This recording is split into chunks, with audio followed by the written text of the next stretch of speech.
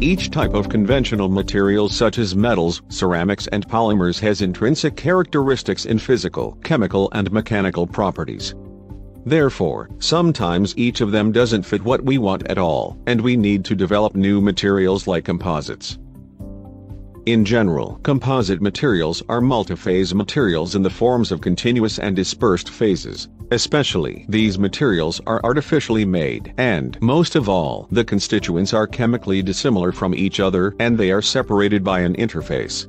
If the interaction between continuous and dispersed phases is too weak, the phases cannot hold each other tightly enough. To resolve this issue due to such inefficient reinforcement, we need to adopt coupling agents that bind those phases at an interface. Polymer matrix composites are the materials where polymers are used for their matrices, and one of the most popular reinforcement media for those composites is glass fiber.